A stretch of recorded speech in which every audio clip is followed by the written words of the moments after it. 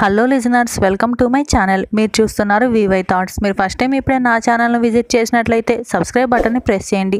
ఆ వెంటనే వచ్చే బెల్ ఐకాన్ని ట్యాప్ చేయండి. దీనివల్ల డైలీ నేను పెట్టే వీడియోస్ అన్నీ కూడా మీరు మిస్ అవ్వకుండా పొందవచ్చు. ఈరోజు కథ పెళ్ళి కూతురు. ఒక మహాధనికుడైన భూస్వామి ఉండేవాడు. ఆయనకు లంకంత ఇల్లు ఉండేది కొట్టుకుపోయినంత బంగారము వెండి ఉండేవి కనుచూపు మేర దాకా పొలాలు ఉండేవి.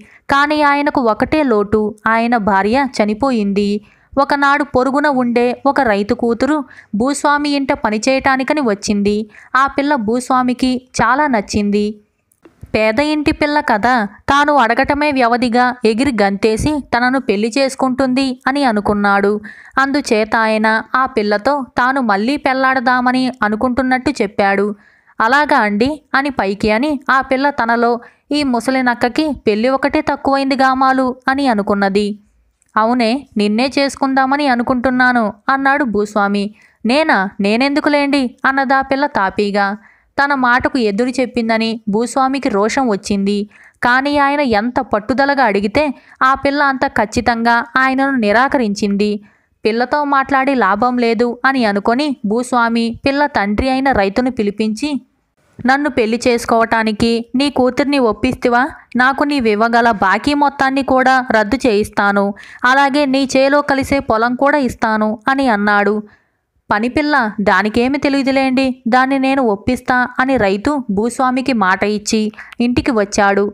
కానీ అతను నయానా భయానా కూడా కూతురి చేత ఆ పెళ్ళికి సరే అని అనిపించలేకపోయాడు. ఆ భూస్వామి ఎత్తు ధనం ఇచ్చినా తనకాయన అక్కర్లేదని ఆ పిల్ల చెప్పేసింది. ఇలా రోజులు గడిచాయి. రైతు జవాబు కోసం మాత్రంగా ఎదురుచూసే భూస్వామికి ఓర్పు సన్నగిల్లింది. ఆయన రైతును పిలిపించి పిల్లను ఒప్పిస్తానని మాట ఇచ్చావు. ఎంతకాలం ఎదురు చూడమంటావు? వెంటనే తేల్చేయి అని అన్నాడు. రైతుకేమి చెప్పాలో తోచక నాదేమీ ఆలస్యం లేదు. మీరు పెళ్ళి ప్రయత్నాలు కానివ్వండి అని అన్నాడు. పిల్ల ఒప్పుకున్నదా అని భూస్వామి అడిగాడు. అది ఒప్పుకునేదేమిటి? దాని ఇష్టం ఏముంది? ముహూర్తానికంతా ఏర్పాటు చేసి నాకు కబురు చేయండి. మీ ఇంట పని ఉన్నదని దాన్ని పంపిస్తాను. మీరు చప్పున మూడు ముళ్ళు వేసేయండి అని అన్నాడు రైతు. ఈ ఉపాయం భూస్వామికి అద్భుతంగా నచ్చింది. ఆయన పెళ్ళి ఏర్పాట్లు చేయించాడు. పిలవవలసిన వారిని అందరినీ ఆహ్వానించాడు. పురోహితుడి దగ్గర నుంచి అందరూ సిద్ధంగా ఉన్నారు. అప్పుడు భూస్వామి తన నౌకర్లలో ఒకణ్ణి పిలిచి ఒరేయ్ మన పొరుగున ఉండే రైతు ఇంటికి వెళ్ళి ఆయన ఏదో పంపిస్తానని అన్నాడు. దాన్ని వెంట పెట్టుకురా అని అన్నాడు. నౌకరు కుర్రాడు రైతు ఇంటికి పోయి దండాలండి. తమరు మా దొరగారింటికేదో పంపిస్తానని అన్నారట. వెంటనే తీసుకొని రమ్మన్నారు అని అన్నాడు. అదిగో ఆ బీడులో ఉన్నది వెంట పట్టుకెళ్ళు అన్నాడు రైతు. నౌకరు కుర్రాడు బీడుకు పరిగెత్తి వెళ్ళి అక్కడ పచ్చిగడ్డి కోస్తున్న రైతు కూతుర్ని చూసి మా దొరగారింటికి మీ నాన్నగారేదో పంపిస్తానని అన్నారట. వెంట పెట్టుకొని పోతాను అని అన్నాడు. ఆ పిల్ల ఓహో ఇదా ఎత్తు అనుకొని పైకి మీ నల్ల గుర్రపు అదిగో ఆ కంచెకు అవతల కట్టేసుంది. తీసుకొని పో అని అన్నది. నౌకరు కంచె మలుపు తిరిగి వెళ్ళి అక్కడ కట్టి ఉన్న నల్లగుర్ర పిల్లను విప్పి దాని మీద ఎక్కి దౌడు తీస్తూ భూస్వామి ఇంటికి తిరిగి వచ్చాడు. వాణ్ణి చూడగానే భూస్వామి తెచ్చావట్రా? అని అడిగాడు. తెచ్చానండి వాకిలి దగ్గర ఉన్నది అన్నాడు నౌకరు. అయితే మరి మేడ మీదకి తీసుకువెళ్ళు అన్నాడు భూస్వామి. మేడ మీద కాండి అది నా ఒక్కడి వల్ల అవుతుందా అండి? అన్నాడు నౌకరు తెల్లపోయి పెళ్ళి కూతురు మొరాయిస్తున్నదేమో అని అనుకొని ఒకరికి ఇద్దరు ఉండటం మేలని అనుకున్న భూస్వామి ఒరేయ్ నీవక్కడ వల్ల కాకపోతే ఎవరినన్నా తోడు తీసుకో చప్పున పని కావాలి అని అన్నాడు. నౌకరు మరికొందరు కలిసి గుర్ర పిల్లను ముందు నుంచి లాగుతూ వెనక నుంచి తోస్తూ ఎలాగైతేనేం? మెట్లెక్కించి మేడ మీది గదిలోకి చేర్చారు. పైకి చేరవేశానండి. చచ్చి చెడ్డంత పనయింది అన్నాడు నౌకరు కుర్రాడు తిరిగి వచ్చి. నీ శ్రమ ఉంచుకోలేరా నువ్వు వెళ్ళి దాన్ని అలంకరించమని అక్కడ ఉన్న మన ఆడంగులతో చెప్పు అన్నాడు యజమాని. అదేమిటి దొరా అన్నాడు నౌకరు ఆశ్చర్యంతో. నువ్వు ఇప్పుడు మాట్లాడకంతే దానికి చీర అది కట్టి నగలు అవి పెట్టమను దండా తాలిబొట్టు మరి చేరు అన్నాడు భూస్వామి.